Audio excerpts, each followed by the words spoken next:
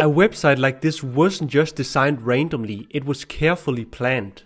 So in this video I will show you exactly how I use a site planner to plan and organize my website as a web agency owner in 2025. You see the problem is that most people start a website the wrong way and it costs them so much time and frustration. But there is a smarter way to do this. So let's dive in so you can learn how to nail this process. And remember to stay until the end because later I will show you a live example of how I turn a simple idea into a complete website.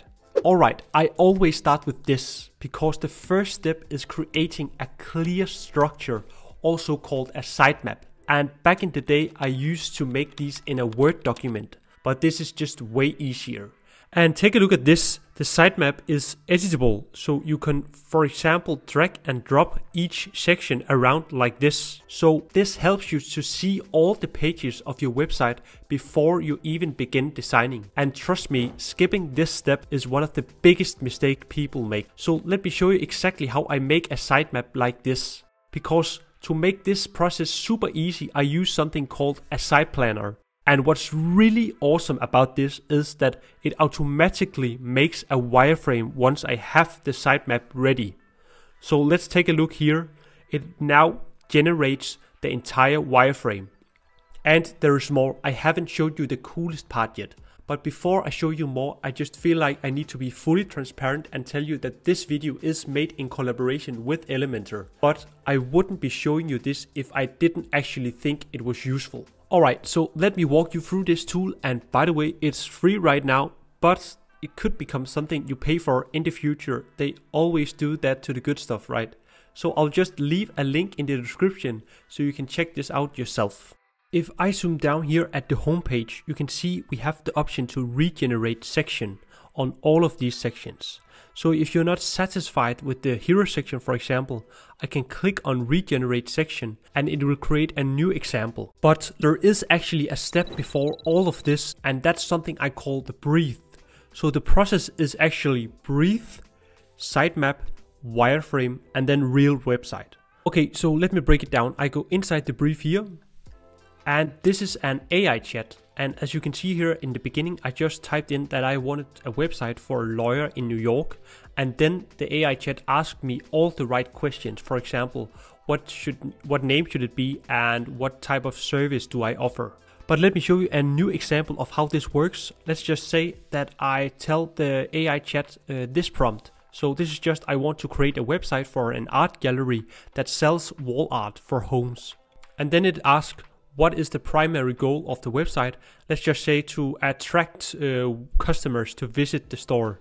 And what's really cool about this is that you don't have to find all the answers. You can just use the suggested answers down here all the time. So this is really cool. This is the sitemap. So it suggests some sites that could be relevant. Let me just choose this one. Okay, so once you describe the project, the AI is ready to generate the rest. So I'll just click up here, use this brief, and then it begins to create my sitemap.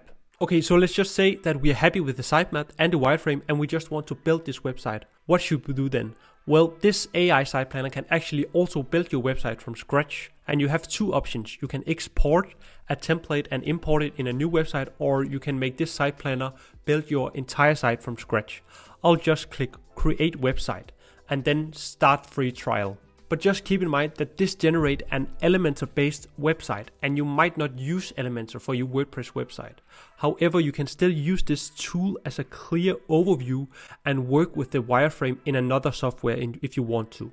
Alright, done. So now it has created an entire WordPress website with this weird URL that you can always change later. But let's take a look at the end result for now. Okay, so you can see that it has added everything from the sitemap and the wireframe.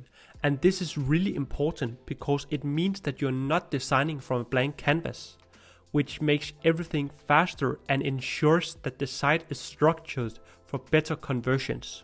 But remember that while AI can generate a solid starting point, you can't rely on it 100%. You still need to use your own judgment and creativity. The real secret is combining AI with your own expertise to create the ultimate design. So now it's just a matter of designing the page and I can click here on edit with Elementor. So if I want to create something similar to what you saw in the beginning, I can easily do that and using this as a starting point. So for example, I could change the background of this to this image.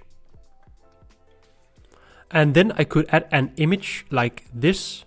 And this is the cool car image. And then change this copywriting to something like this maybe. And make it really large and maybe move up the text like this and make it white and change the buttons to something like this and make the image a bit larger. Now we just take a look at the header. So make it white for example like this so you can see everything and make this 100 height. Let's publish and see how it looks. Okay, looking pretty good so far. So if you want to learn how to design a pro website and avoid the classic mistakes that can ruin your design, I highly recommend checking out my other video here.